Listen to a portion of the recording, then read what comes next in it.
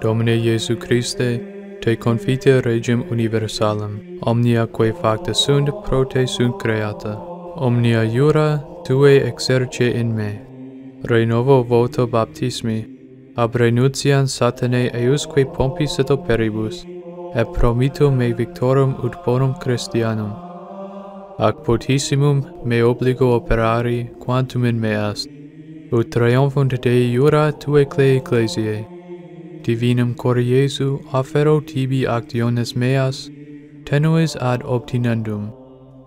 Ut corda omnia agnoscant tuam sacram regalitatem, et ita tue pacis regnum stabiliator in toto terrarum orbe.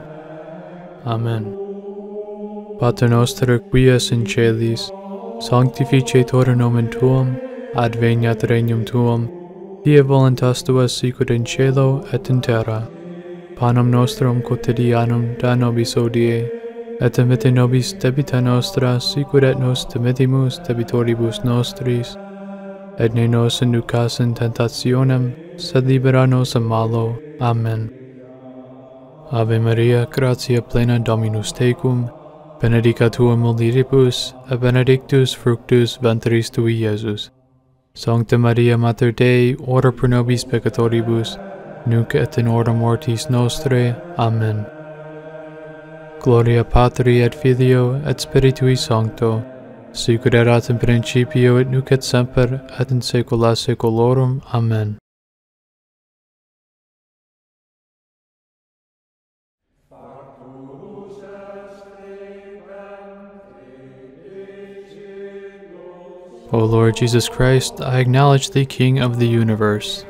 All that has been created has been made for thee. Exercise upon me all thy rights. I renew my baptismal promises, renouncing Satan and all his works and pomps. I promise to live a good Christian life and to do all in my power to produce the triumph of the rights of God and thy church.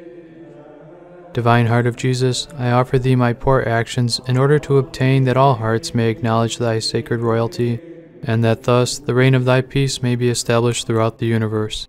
Amen. Our Father who art in heaven, hallowed be thy name. Thy kingdom come, thy will be done on earth as it is in heaven. Give us this day our daily bread, and forgive us our trespasses as we forgive those who trespass against us. And lead us not into temptation, but deliver us from evil. Amen.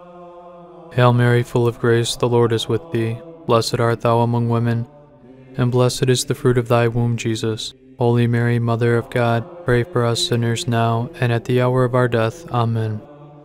Glory be to the Father, to the Son, and to the Holy Ghost, as it was in the beginning, is now, and ever shall be, world without end. Amen.